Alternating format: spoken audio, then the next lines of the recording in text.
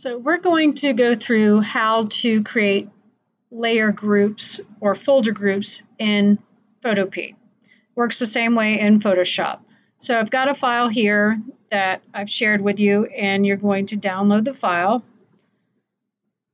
And in order to get it to open up in photopea.com, we can just take the file and push it right in here.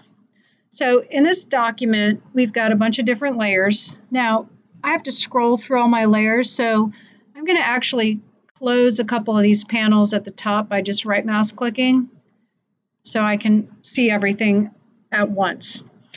So I've just got a bunch of shapes here.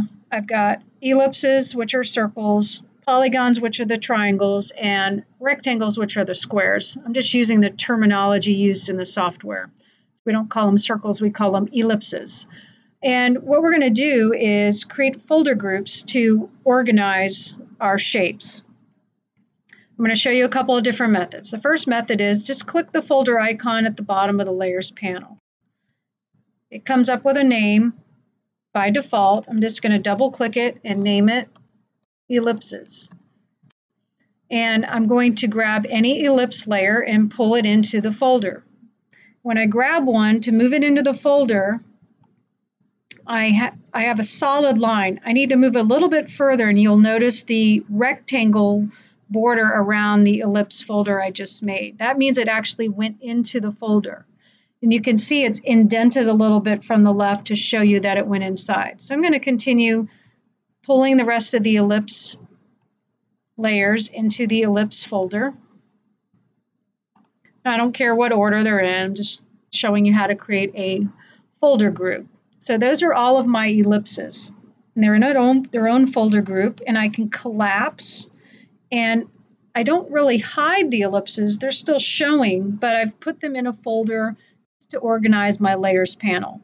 And I can expand it and collapse it. I can hide the entire folder group, so all of my ellipses or circles will disappear from view. I can still control an individual layer within as well. So if I just want to hide the yellow ellipse, I can do that as well. That's one method of creating a folder group. The next method is my preferred method where I select the layers first and then I put them in a folder. So if I want to put my polygons in their own folder group, I'm going to hold my control key to select the different polygons. Holding the control key will allow me to select layers that are not next to each other. And then I'm going to let go of my control key and I'm going to grab any of the polygon layers that are currently highlighted and shove them on top of the folder icon in the bottom of the layers panel. Now it automatically collapsed the folder with my polygons. I'm going to name the folder so I understand exactly what's inside each folder. And I've created the um, second folder. I'm going to do the same thing for my rectangles. So I'm going to do that last method. All of these files, I'm sorry, all of these layers are next to each other. So I could do the shift click top and bottom if I want to, or I can do control, however you want to do it. And now I'm going to take these and also drag them to their own folder icon. Name it what it is by double mouse clicking to rename the folder group. And now again, I can hide in the whole folder. I can also change the layer stacking of a folder group. Right now, my yellow ellipse is being hidden by this polygon because the ellipses are below. So watch what happens to the yellow circle if I move the ellipses folder to the top of the layer stack. Now the whole yellow ellipse is visible. So it still works the same way as layer stacking as it does with stacking layer groups or folders. We can also move folders inside of another folder if you want to. So I can either create folders inside, like in my polygons folder, if I want to create a subfolder, I can click this icon and it will, hmm, it didn't create inside there. Um,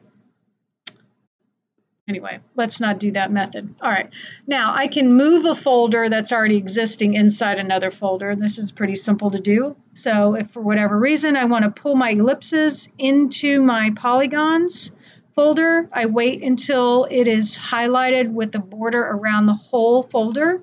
And now it looks like my ellipsis folder disappeared, but it is inside here, we call nested inside the other one.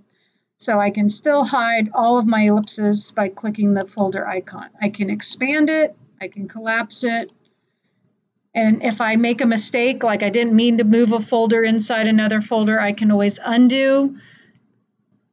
With using Control Z will back you up in the undo process. So that's how you create folder groups um, in photopea.com and it works exactly the same way in Photoshop.